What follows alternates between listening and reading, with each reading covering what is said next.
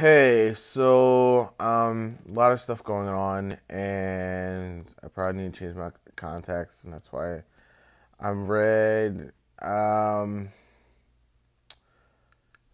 interesting thing happened this week, or in the last couple weeks. So, um, I talk about ancestors all the time.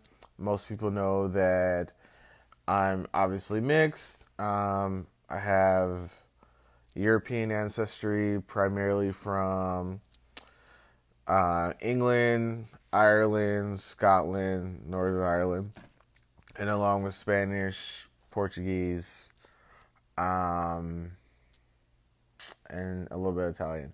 So after I focused on other cultures now I'm starting to get more in input from my more European ancestors, and that hasn't happened in a couple years, or probably like at least five years.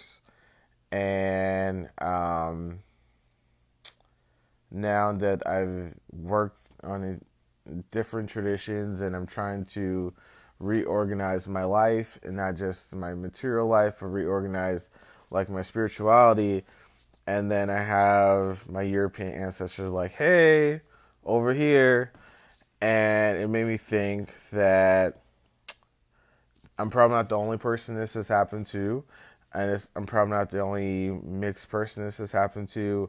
But a lot of times we get kind of so focused on what other people want us to focus on and what other people decide for us based on our phenotype or what we look like that we should focus on spiritually that is is not always the case. Um, so I have to take that into into consideration and think of things differently, um, knowing that everyone in my family tree contributed to this person here, contributed to the vessel that I I'm incarnated into, contributed to the blood that runs in my veins. So, whether I like it or not, everyone has some type of contribution. So, some people will have ancestors that are more present, more dominant, like mine are obviously more more dominant ones are either indigenous or um, African or or Indian from East Indian, and but I have ones that are coming up more now um, that kind of want more of my attention. So I have to do some more research into how to work with those ancestors and also what type of spirits they used to work with.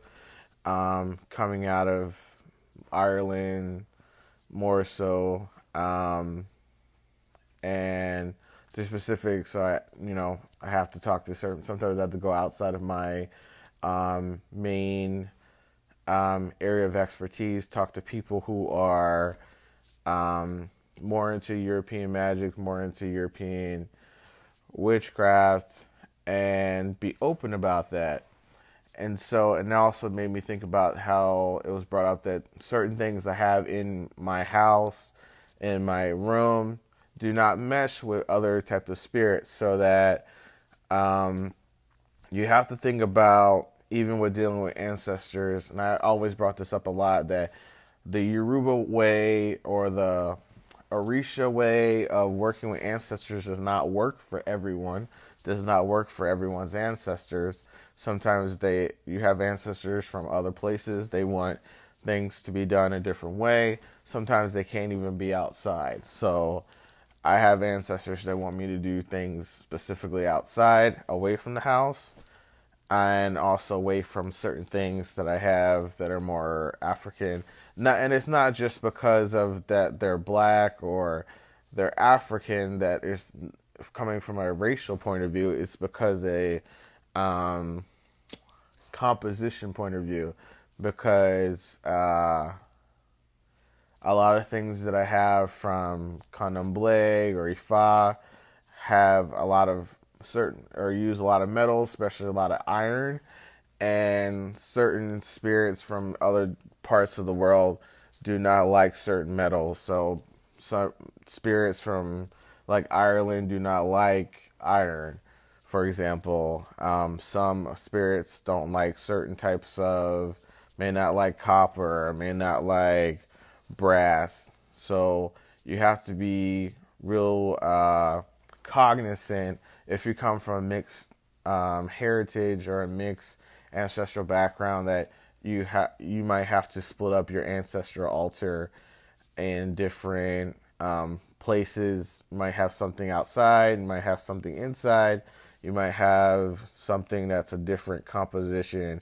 Some something might be made of wood instead of metal, whereas other places it might be another group or a tribe might be metal or something maybe on the floor or something maybe up high. You just have to figure things out based on um, input from readings, dreams, etc. So yeah, just want to give my own experience with that. Bye.